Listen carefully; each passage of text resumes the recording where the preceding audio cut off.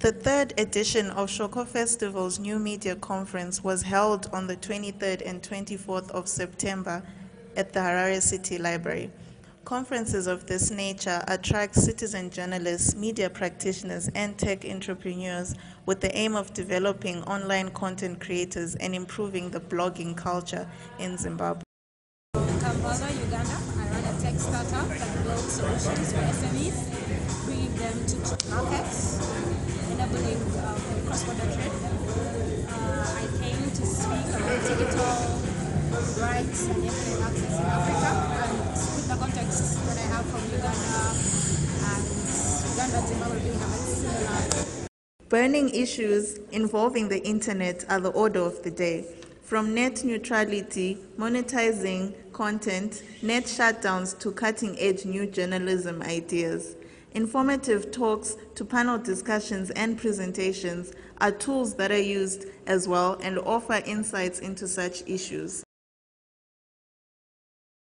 It boils down to uh, every facet of the, the nation, the economy, viewing the internet, viewing technology. Media startups, in particular, are using such platforms in order to impact knowledge and breed a new group of online creatives in Zimbabwe. My name is Kenny, Kenny Tonga. I am founder and CEO of Power FM. It's a youth radio station in Zambia, capital city of Lusaka. Um, I'm very excited to be here. Um, anything to do with young people, um, anything to do with you know uh, digital media, media, and all that.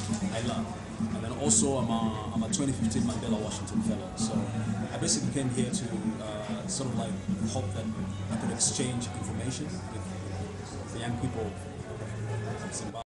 The city has had an influx of conferences, talks, and seminars of this nature, and this shows the growing interest in online activities. Shoko Festival being one such conference.